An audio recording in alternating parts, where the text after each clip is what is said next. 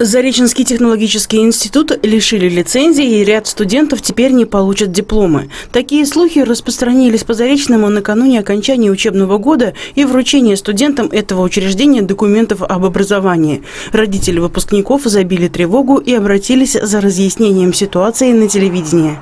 У нашего ЗТИ, технологического колледжа нашего Зареченского, отобрали лицензию. Той специальности, на которой обучались мои дети, Область существует только в Нижнем Ломове и в Сердобске. То есть в Пензе, в Пензенском ПГУ такой специальности нет. Эти, которых специальности есть, те сдали в ПГУ дипломные свои работы.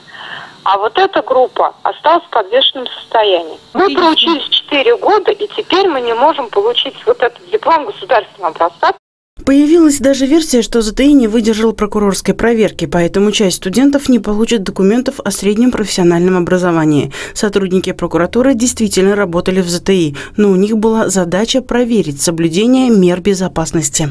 Мы проводили э, исполнение, проверку исполнения требований антитеррористического законодательства, законодательства о безопасности, в принципе, здания и территории.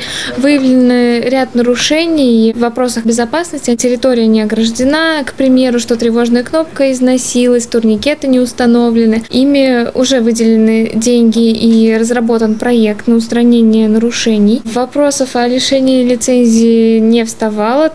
Вопрос получения диплома о среднем профессиональном образовании волнует и 25 студентов Зареченского технологического института. Все они учились по специальности техническое обслуживание и ремонт автомобильного транспорта. По словам ректора Пензенского государственного технологического университета, филиалом которого является ЗТИ, речь о лишении лицензии не идет. Учреждение готовится к очередной аккредитации образовательной деятельности.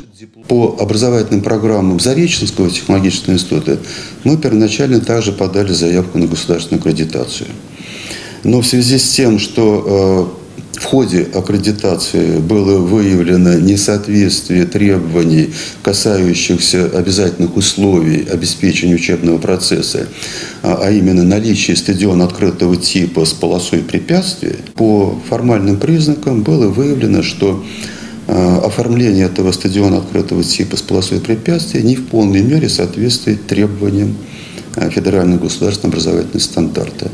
В настоящее время руководство Пензенского государственного технологического университета решает проблему со стадионом.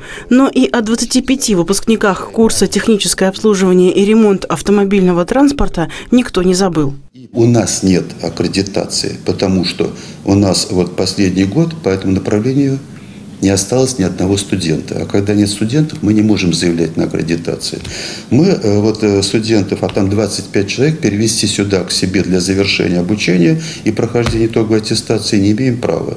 Поэтому мы договорились э, с нашими коллегами из Пенинского государственного университета. Вопрос согласован, и 1 августа этого года вот эти 25 ребят, выпускников специальности техническое обслуживание и ремонт автомобильного транспорта, пройдут итоговую аттестацию в Пенецком государственном университете.